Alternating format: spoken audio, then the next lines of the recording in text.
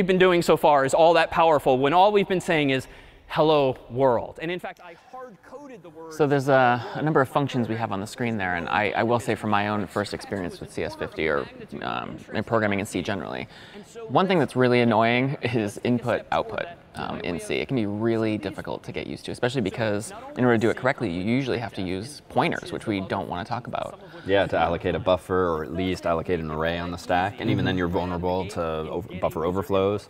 Yeah, no, this was something that we inherited from uh, Eric Roberts from Stanford had put together a library, GenLib and SimpIO, um, and he's ported those to other languages as well, that we, uh, Glenn Holloway and I from CS50 weaved into our own CS50 library where we changed the documentation and the code itself a little bit, but really just to give students some standard set of training wheels at the start of the semester, really so that we can focus on getting input from the user and not tripping over ourselves trying to explain why, well, you technically need to give yourself an array first and then put this, like it's just too much distraction. We want getting mired in scanf and having to have extra parameters to make sure yeah. that stuff doesn't get caught. And Which scanf isn't bad for things like in integers and whatnot, but as soon as you start to have, if the user types more characters than you expect at the prompt and then hit enter, then it buffers up and then you see it on the next request and it just becomes a mess. Yeah, I mean, even having this discussion right now, if, if we were having students see this early on, it could feel overwhelming talking about scanfs and buffer overflows. Like, yeah, I mean, we're way ahead of ourselves now. So these, I think, are compelling training wheels, and that we, again, consciously, like almost everything in CS50, take off eventually mid-semester when we context switch and really start doing things at a slightly lower level. Um, but I think early on they help us. I think other languages suffer from this as well. I mean, even before Java had the scanner class, and even now, like there's a few lines of overheads that like actually just get simple input from the user.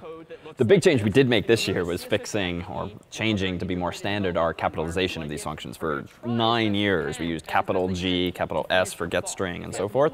And that was because those were the names of the functions in the original libraries. But even um, I think Eric has since gone back in and changed them to be a little more consistent snake case-wise with C. Um, and we have ports of the library now to other languages where we've made the naming scheme language specific, right? Just as to preach best practices. And indeed, that was thematic this whole year with CS50's videos to go back through and really do some spring cleaning, remove material that had just gotten a little bloated, but also make sure we were doing as many possible things right, or at least in the most standard way possible. Teaching sort of best practices as well as teaching concepts and Exactly. Skills. So as to not accidentally send some wrong message. Of course, that meant having to redo every one of our resources, especially the older videos, but that's okay. I think we, we're staying current. And it, all, what better time than when we're switching to uh, version 2 of this new environment for us. Right.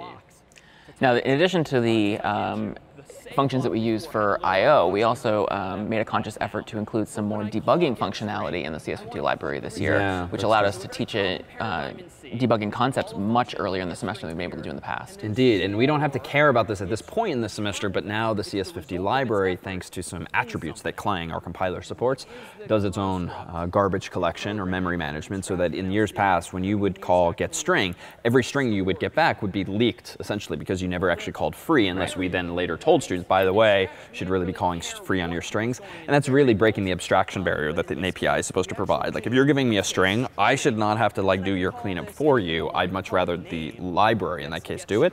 So the library now does that memory management for us, which is nice. But um, it also has eprintf in it too, which we promoted this year as a function that's pretty much just like printf, but for printing errors is eprintf. And what it does is it magically using um, some macro tricks in C is it prepends your line of output with like the file name and the line. And it also prevents the output from being buffered, which can sometimes happen with printf, which leads Very to sort true. of red herrings about where exactly the error is coming up in your program. For many years in office hours, we would have students um, write some line of code, and uh, when trying to debug their code, they'll like use printf to print something out, but they might forget to include like a trailing new line, which typically, as a side effect, flushes the standard out buffer. And so the result would be that students would have some bug in their code where maybe it gets stuck in some loop, but the thing they're trying to print here, even though you're well past that point logically in your code, never got flushed, and so you never see it. And so they waste time in office hours, for instance, or at home, wrestling with a bug in the wrong place. So now we just make every character print the moment it's sent to standard out and standard error. Hopefully that helps to reduce the, the number. There. Certainly at office hours this year, we saw a lot less of uh, of that kind of thing. I think a good subtlety to understand eventually, but not to not understand and get tripped up by when you're really trying to focus on actually solving some problem of your own. Right the user has typed in at his or her keyboard in a variable called. You notice that's how I type. like that. Apparently, that's what my uh, what I think during lecture is typing. more, such that the second or third or fourth